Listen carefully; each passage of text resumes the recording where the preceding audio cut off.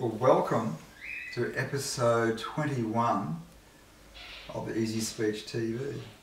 Today we're going to be talking about using vowel sounds in the middle of a sentence or during general conversation.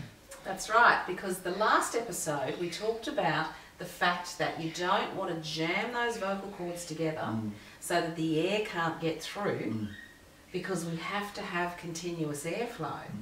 Yeah. So we talked a lot about how to do that when the word starts with a vowel sound That's right. because we don't want to say I or mm. apple.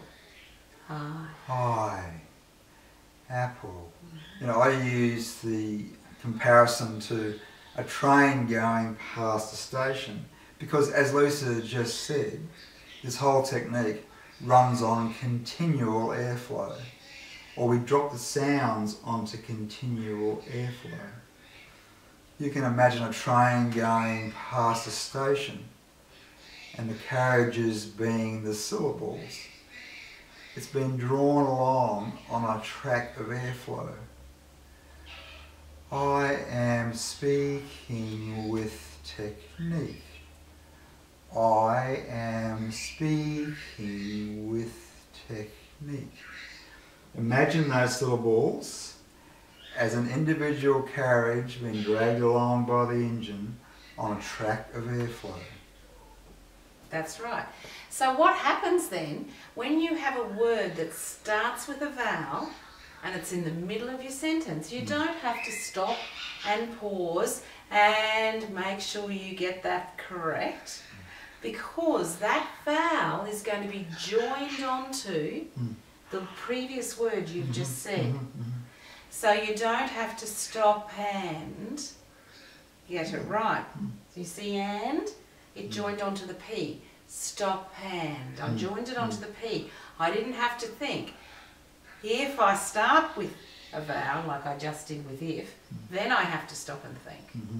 Dead right. So, See, I am going shopping along with my wife. I am going shopping along with my wife. so along then, you did have to take your breath Mm. and you did have to make sure it was gentle Mm. because it was the start of your next phrase. So now let's think of a sentence where the vowel joins on Mm. rather than being the start of the next phrase. I went on a boat ride down at the bay. So when you do a sentence like that, you said the word on, Mm.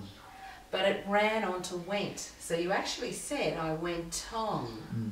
So it was actually ton, it wasn't on. So you didn't need to worry about your soft onset for the O because it was in the middle. Yeah.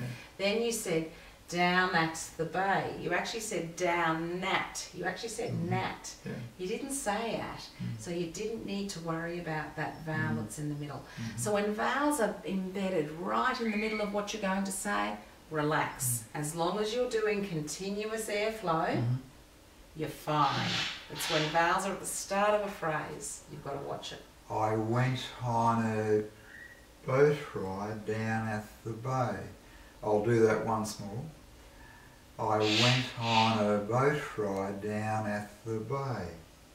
You didn't need to worry about any of those vowel sounds Yeah. in the middle because they all ran on with continuous the- airflow. That's the key. That's the key. You Yeah. only need to worry about I at the Mhm. start. That's right. That was the only one to be concerned And as long as you address your technique at the very beginning, you're fine.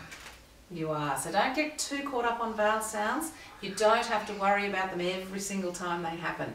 Only when they're at the start of a phrase, like I just mm-hmm. did then for only. Only.